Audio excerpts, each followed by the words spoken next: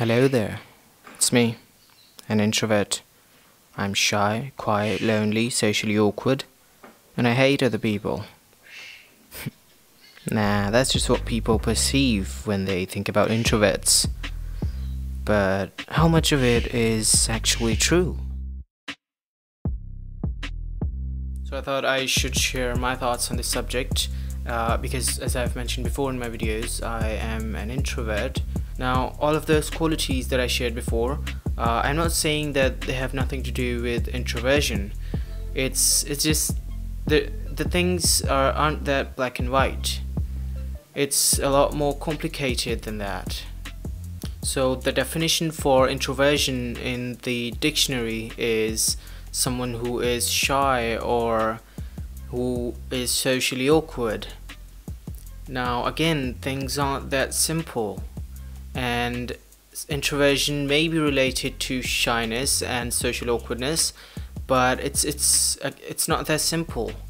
It's there are a lot of things involving introversion uh, that may lead to shyness or uh, social awkwardness but I don't think they're directly connected. What I mean is uh, many extroverts are socially awkward or shy and many introverts are not shy or socially awkward. I think Susan Cain uh, in her book Quiet gave a pretty good definition. Introversion is a preference for environments that are not overstimulating. Now, in our current society, introversion isn't very isn't a very ideal personality type, and uh, we're always told to be social in, in, schools, in our offices, and in our homes by our parents.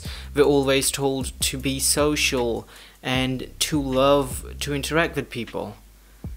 And that's what I find very idiotic that we have to want to interact with people.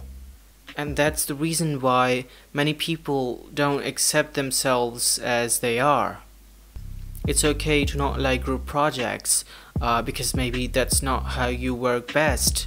Uh, it's okay to prefer sitting alone or sitting with a few friends than sitting in a large gathering. According to researchers, 30 to 35% of people are are introverts and yet still as Susan Cain says in her book uh, we are living in a extroverted world. The people who talk more are perceived as smarter or or happier, which is totally not the case.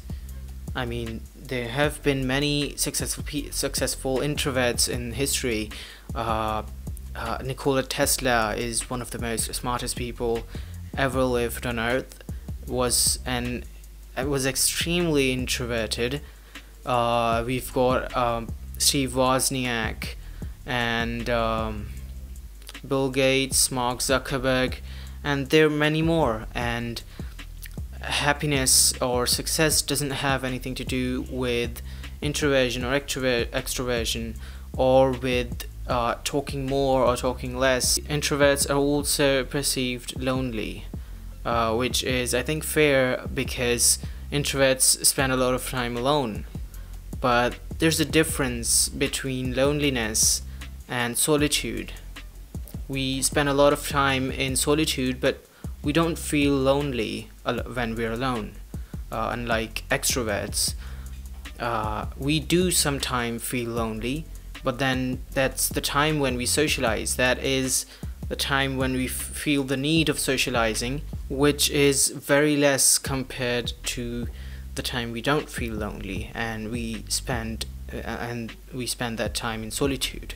So i think it's very important to understand ourselves and accept who we are. And i made this video to because there's a lot of uh, i won't call misinformation but misleading information uh, online uh, about introversion.